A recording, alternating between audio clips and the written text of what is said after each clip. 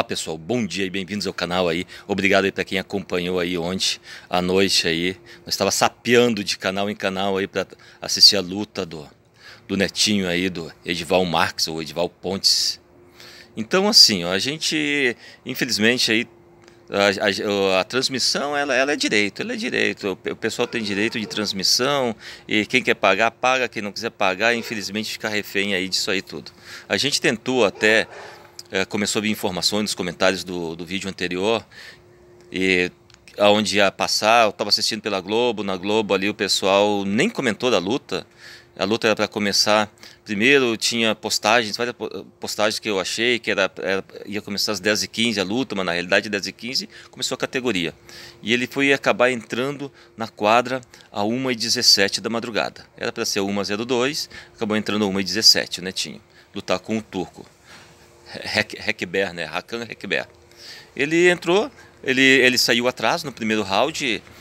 O, o turco abriu dois pontos de diferença, mas logo o Netinho conseguiu virar com um chute na cabeça, aí deu 3 a 2 e, e, essa, e essa luta foi se estendendo aí. Mas o turco já virou aí no segundo round, já entrou para o segundo round com 8, 8 a 3 e uh, dominou a luta e no finalzinho aí acabou vencendo aí por mais que o que o, que o Edival Marques, aí o netinho, se esforçasse, uh, acabou fechando a luta com 25 a 18 para o netinho.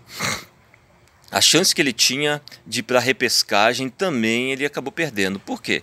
Porque dependia muito uh, do, desse turco aí, do Rekber, uh, chegar até as finais. Se ele chegasse até as finais, então o Netinho poderia ir para a repescagem e lutar pelo bronze. Mas na luta seguinte, o Rekber aí perdeu para um britânico acabou perdendo aí por 39 a 19, então perdeu a chance também o Netinho de ir para a repescagem aí. A, a primeira luta para ele sempre foi mais difícil, sempre foi um pesadelo, mas ele sempre teve é, perfil dele, característica dele. Na segunda luta ele está bem mais solto e ele desenvolve melhor aí sua técnica. E no, geralmente quando ele passou da, da segunda luta ele vai para a final. É característica dele mesmo. Mas isso aí são tudo detalhes. O taekwondo detalhezinho aí você consegue fazer 5, 6 pontos aí. Ele está muito dinâmico, então, esse sistema de pontuação. Então, então hoje à noite, então, aí pessoal, nós temos então o Ícaro Miguel e a, e a Titonelli. Vamos ficar de olho em, em, em, todas essas fontes que a gente tem para assistir aí. Quem puder assistir no Globoplay, assiste lá. Quem não, quem não pode, onde passou no Sport TV, Sport TV 4, tá? E também a gente conseguiu aí durante a transmissão a indicação que estava passando lá no Twitter, uh, no Fred, Mandieta. Mas depois acabou caindo o sinal e perdemos também essa conexão aí. Mas fiquem de olho nesses canais aí, vão girando aí. E comentem também.